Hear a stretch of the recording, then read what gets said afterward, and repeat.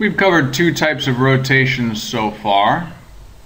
Euler rotations and matrix rotations. And the problem is that neither one of these does slerping very well. Slerp. Slerp stands for spherical linear interpolation. I have no idea why it can be spherical and linear at the same time. But if you think of it as two points on the surface of a sphere, here and here, we want to get from one to the other in a direct line. The problem is that with Euler angles, when you try and interpolate, you it happens like this. It's not a direct line. It happens kind of in a curved path. And with matrix rotation representations, you, you can't do any interpolation at all. Uh, it just doesn't work. And so we're going to develop uh, a new method of representing rotations that can be interpolated. So it's called axis angle, and you can represent it as a theta, that's the number of degrees that you rotate, and an axis of rotation, and we'll call that n. So n, you can think of it as like the axle on a wheel, or uh, of like a car or a bicycle the wheel spins around that axle in the same way that your vector or your object will spin around this n. And it will spin around by exactly theta degrees. So I'm going to try and draw a picture of what's going on here so that we can get a good uh, representation.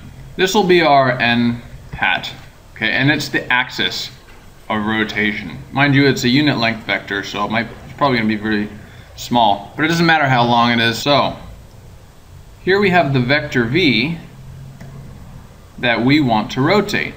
Okay, and we're going to be we're going to be rotating it like this around in a circle. So we're going to be rotating around the circle like this to this point. If this is this is the uh, center of rotation right here, then we're going to be rotating it to here. So this will be theta degrees. This is actually, you can see this clockwise rotation. Usually in mathematics we rotate counterclockwise, but the numbers all come out the same. So for visual clarity, I'm gonna, I'm gonna rotate clockwise in this case. So the first step is to get the orthogonal projection of V onto N. And we'll get this vector here. And that'll do for you in orange. Okay, and I'll call it P. And the second step is we're going to get the error vector. I just learned today it's also called the rejection vector. That's perpendicular. Okay, I'm going to call it E. And we're going to rotate E around in this circle until we get to E prime. E prime is the rotated one. So what we're looking for is V prime, the rotated vector that points at this point right here. This is the rotated vector v prime. And you can see that that's p plus e prime. Okay? So let's see here. v prime equals p plus e prime. That's pretty simple. Let's figure out how we can get p and e prime in terms of v and n, which were and theta, which were our original um, values. So P, as you can see, is just the, it's the projection of V onto N. We know how to do projections. That is V dot N times N. That's P. That's P right there. Now E, we have to rotate it theta degrees around N. And so it gets a little bit tricky. We need not only E, but we need a vector that's perpendicular to E and this n-axis.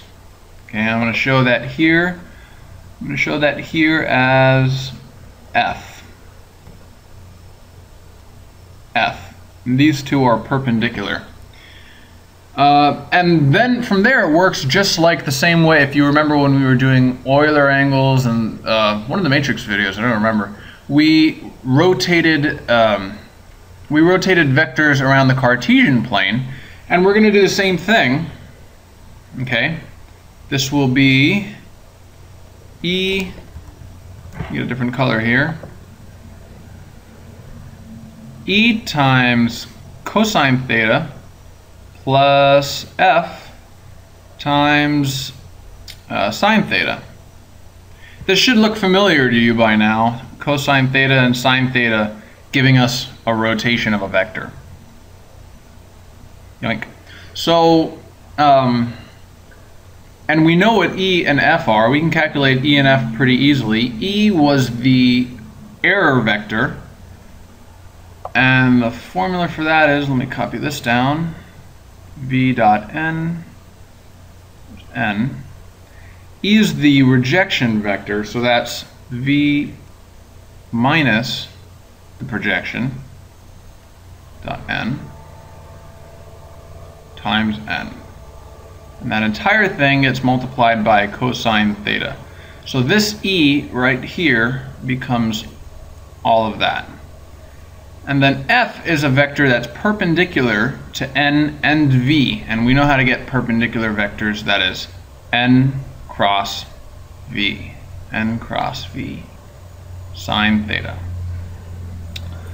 So simplifying this, I'm going to go ahead and skip a step here, just in the interest of time. It's a very simple process to simplify it. We get this right here, v dot n times n times 1 minus cosine theta.